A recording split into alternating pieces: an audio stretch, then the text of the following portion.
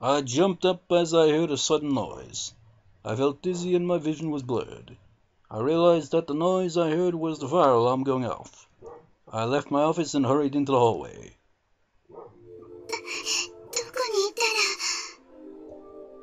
I tried to figure out where the fire had started. I fought for a moment, then instinctively headed for the home ec room. I pray that nothing bad had happened. Oh yeah, there was an incident like that as well, wasn't there?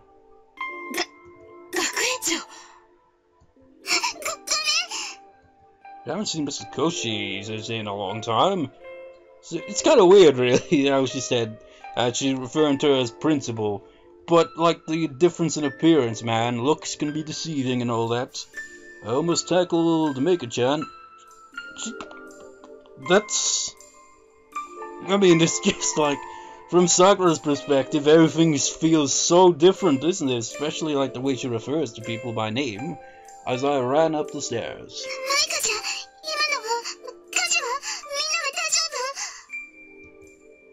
Her panic didn't give me hope. Eh, eh,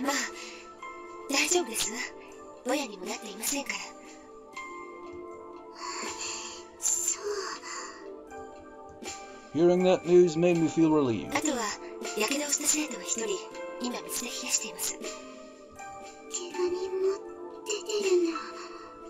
ええ。でもごく軽いものですから、学園長は心配するほどではありませんわ。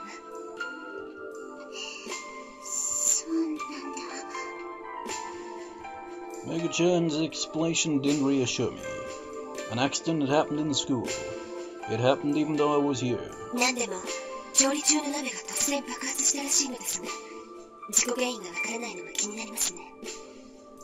私もちょっと気になって先ほど家庭科室の様子を見てきたのですが。学園長大丈夫ですか？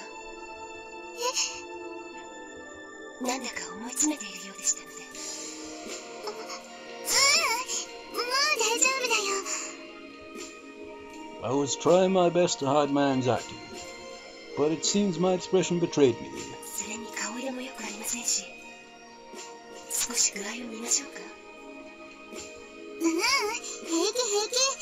マイカちゃんも心配性だな。それならいいのですが。けれどあまり無理をしないでくださいね。私は保健室に戻りますから何かあったらいらしてくださいね Man, it feels so weird. I mean, usually she makes goofy faces when interacting with Yoshiyuki or any other character, but with Sakura it's a bit more straightforward, just like more just like respectful towards her, you know? I didn't know if I was able to fool her, but Maika-chan went back to the office. After assessing the situation myself, I headed back to the principal's office. Well, your office, I suppose. I couldn't help but suspect that this accident was also caused by the everlasting cherry tree. I couldn't even prevent an accident from occurring in the school. This was just a small one, but it was only a matter of time before someone got seriously hurt. I was reaching my limits. I had to end this. I needed to end this. I repeated the options in my head for the upteenth time.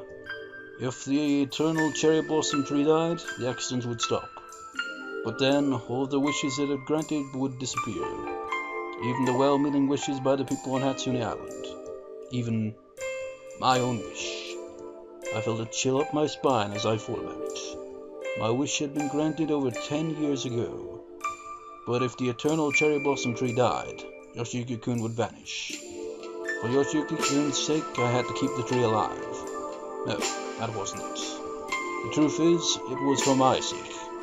I was the one who didn't want to be separated from him. Because he was my wish. That's why I could never go through it.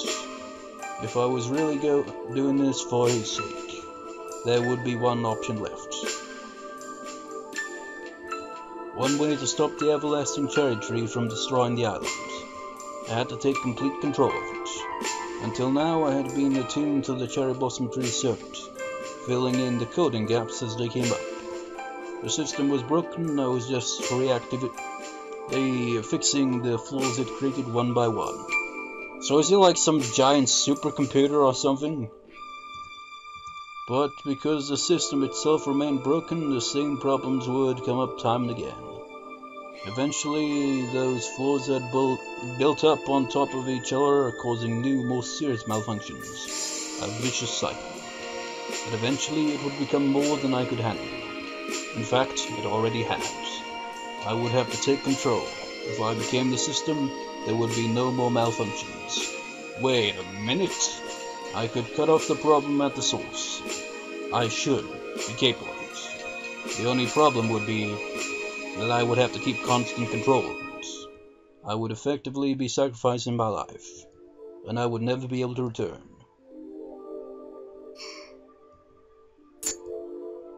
Wait, Yoshiyuki-kun appeared in my mind's eye.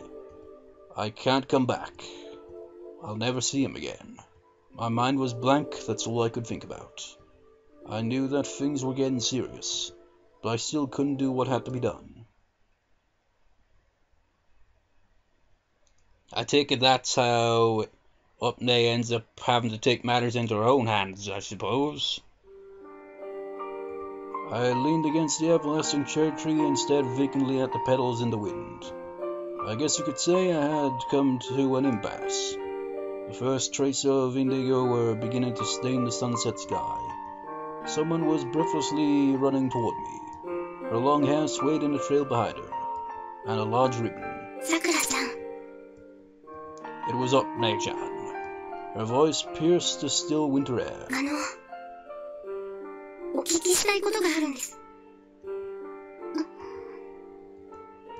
I stayed quiet, waiting for what Otome-chan was going to say next. I thought I knew what was go what she was going to try and ask me. She had realized that the accents were related to the everlasting cherry tree. If anyone was going to figure it out, I knew it would be Otome-chan. 今から50年ほど昔にもれない桜があったそうです。 50 years. So I imagine that was around about the time of the original. So add that on, and yeah, she would be like pretty old. この木々と同じように、夏も、冬もずっと桜の花を咲かせ続けていました。 She spoke rapidly between deep breaths, And yet her expression was like a girl preparing to be scolded. She was trying so hard to be tough. でも、それは一度枯れてしまった。それから、枯れない桜が再び咲くようになったのは、10年ほど前。さくらさんがアメリカから初音島に戻ってきた後。さくらさん、その頃、一体何があったか知りませんか？She had already guessed everything. She had realized that I was connected to the everlasting cherry tree.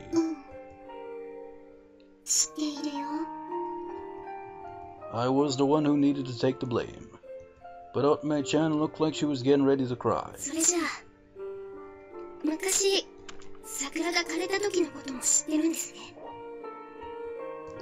Without saying anything, I nodded to her. Otome-chan fixed her mouth into a line and continued.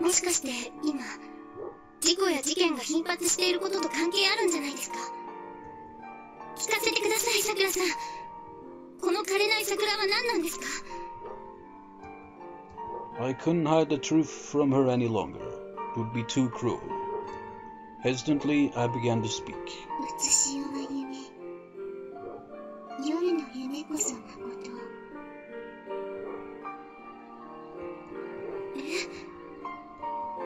目が覚めても、本物の夢を見ることができるように。この枯れない桜はね、そう思って作った魔法の木なんだ。魔法の木 She was surprised by the revelation. I was hesitant to tell her the truth, but I forced myself to continue. 乙女ちゃんが一番知り たいのは最近起こってる事故のことなんだよね。はい。やっぱりこの木と何か関係があるんですか？関関係というより今まで起きたことは全部この木の悪影響が原因なんだ。悪影響？うん。この木が不完全だったから。今今まではシステムの欠陥を補いながらそれでうまくやってきたんだけど。でも僕の力じゃだんだん制御できなくなってきて。それでこんなことに。なんとか。ならないんですか？昔と同じように桜を枯らせばもう事件は起きなくなる。だったらそうしてください。Ah, so she didn't know the consequences of it just yet, I suppose. こんなに危険な事件がいくつも起きているんです。今日だって校門のところで交通事故があったんですよ。さくらさん最初から知っていたのならどうして？どうして何もしないんですか I knew she was right, I'd been witness to too many of the actions myself. It would be no good to make excuses. 桜を枯らすわけにはいかないんだなんでですか It was a natural question, but I didn't know how to answer. Yeah, that is a pretty heart-shattering answer that she'd have to give either way, isn't it?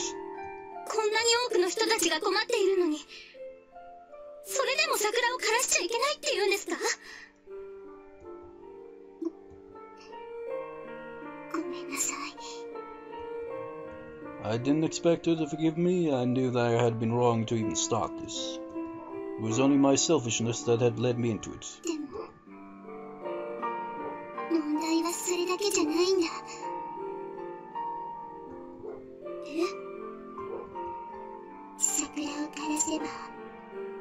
願いも溶けて消えてしまうから願いって I looked at Mei Chan square in the eyes. 乙女ちゃんよく聞いてほしいんだ The wind gusted between us. It carried the petals up on a draft. I felt my hesitation fading, riding those petals to the lonely sky.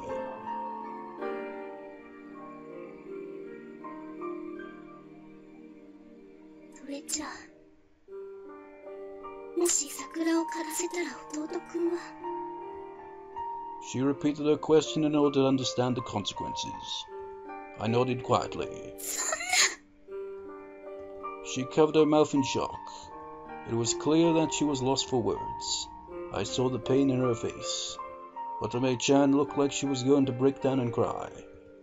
How was she supposed to decide between the island's residents and Yoshiyuki kun?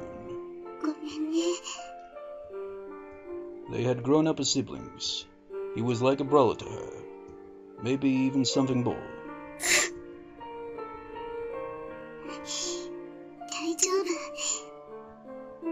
I placed my arms around Otome-chan, acting motherly despite my smaller stature. She silently tucked her head into my bosom. A moan escaped her lips. That's how much she cared about Yoshiyuki-kun. It wasn't just her. Yume-chan felt the same way too. He also had so many friends.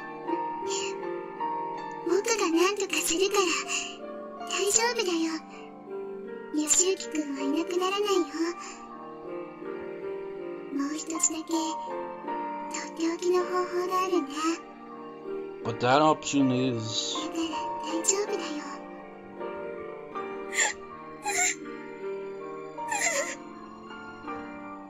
She didn't seem to believe me. She wouldn't even raise her head. ああわかめちゃんっては僕のことを疑ってるの？本当に大丈夫だよちょっと難しいんだけどね I repeated myself, forcing cheer into my voice. I stroked Otome-chan's hair as if I were comforting a little girl. Her hair was long and beautiful. I was so grateful for her compassion. Thank you, Otome-chan.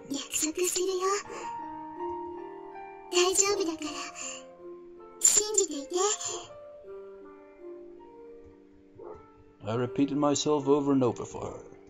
At last I could do what needed to be done. Yoshiyuki kun was still in the living room when I came home.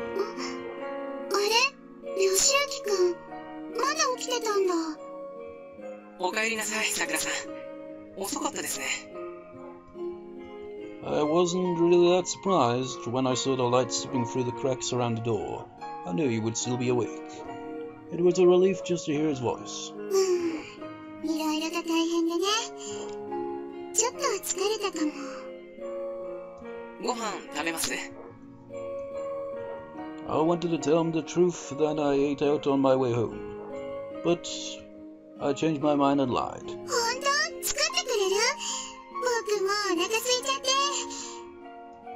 てじゃあ、何かあっさりしたものを用意しますね。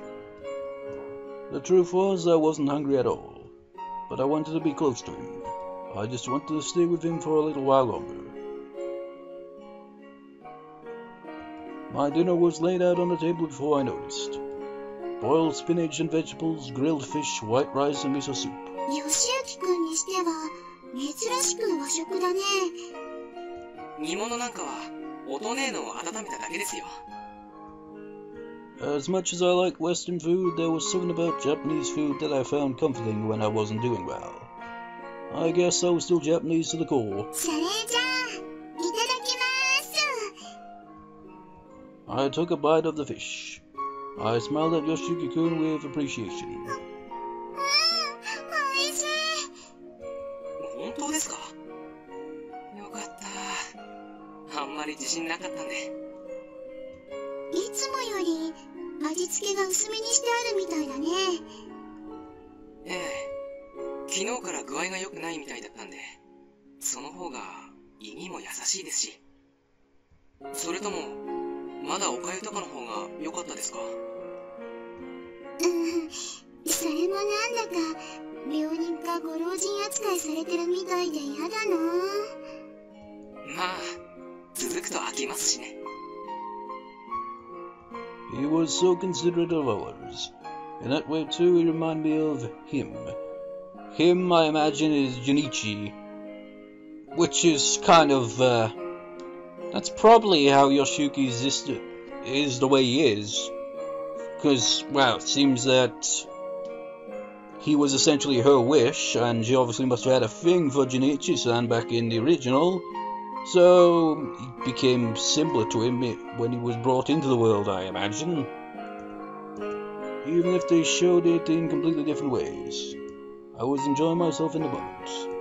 But then suddenly I lost the will to eat. I couldn't just force myself. ごちそうさま I left about half of my rice behind. やっぱり、食欲ありませんかうんごめんもったいないことしちゃってねそれは、別にいいんですけど。今日はもう休んだ方がいいですよ。病み上がりの上に、すごく疲れた顔してますし。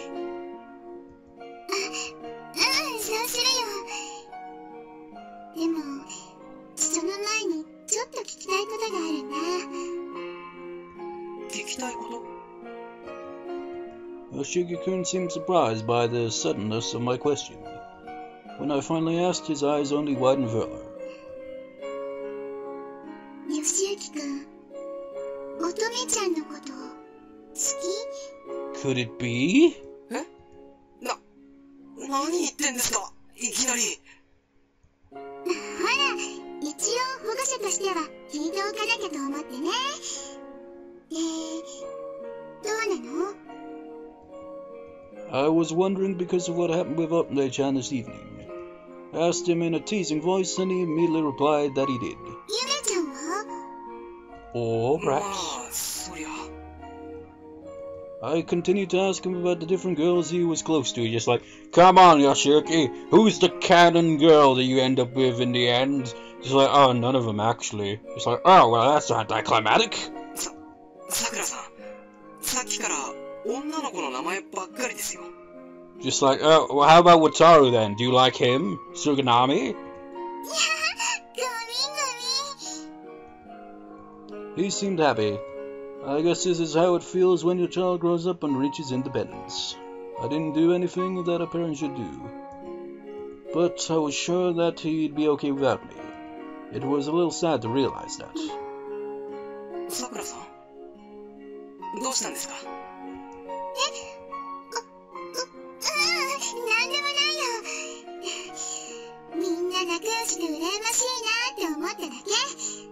That's an odd thing to say, really. She's envious of how popular he is with the ladies. Just like, be like, so, Sakura, do you want to have lots of girls attracted to you or something? Just like, no, it'd be the reverse, wouldn't it?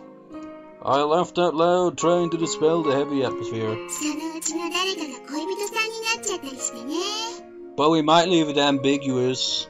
さくらさんは恋人とか作らないんですか？どうして？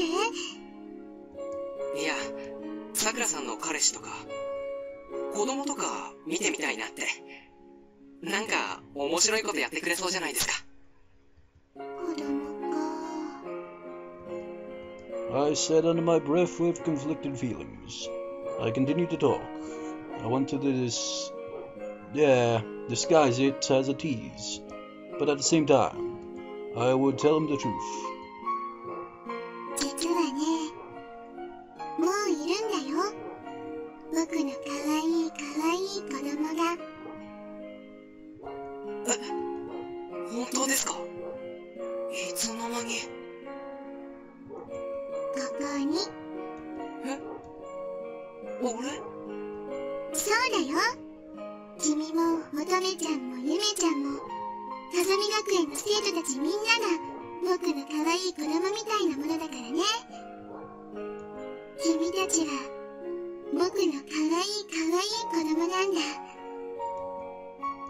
felt sadder as I continued speaking to him. I got close to Yoshiyuki and patted him on his head. So it's not just a protagonist thing then.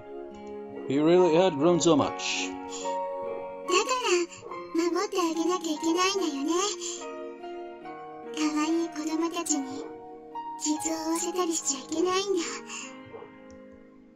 I felt like I was going to cry just by looking at his face. ねえよしゆきくんちょっといいかなえ何がですかえっとね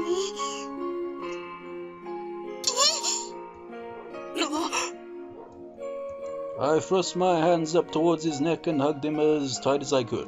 ちょ、ちょっとさくらさん I charged the battery of my soul to give me strength. I could feel his temperature. I could hear his heartbeat too. But Mei Chan would be jealous if she saw me doing this to him. I said farewell to him in my heart. Goodbye, Yoshiyuki. You know, it could have had a CG, you know, but uh, it'll do. The next moment, I started crying. I couldn't hold the tears back anymore. I whispered my apology. I'm going to protect you. I can't see you anymore, but you'll still be here, living your life. That's good enough for me. Sakura san. Ima. Nande? I let go of him and wiped my tears as I backed away. Then I gave him the biggest smile I could muster.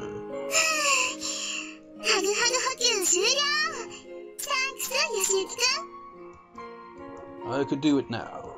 He had given me the power to do anything.